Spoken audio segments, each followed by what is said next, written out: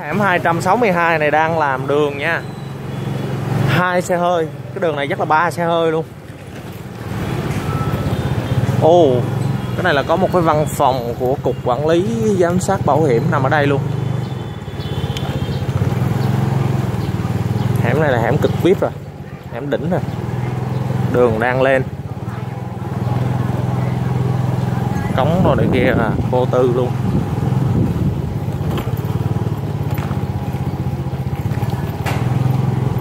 Đó. Toàn là nhà đẹp. Số là một số luôn, số mặt tiền luôn. Rồi, nếu như anh chị mua thôi, mua tới đây.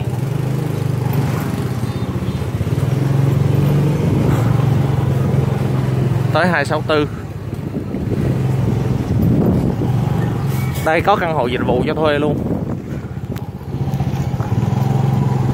Đường này thì mua nhà thì làm hầm là thoải mái luôn đang đi ở đường thành phố mà giống như đi off road đó, sắp tới à, gái đẹp luôn, quay cái đẹp luôn.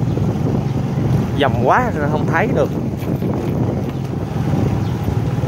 Đó đó, đi đường quay à, thích vậy thôi. Đó, một cái cái đường này là mình đi ra luôn cái chợ Nguyễn Văn Trỗi luôn.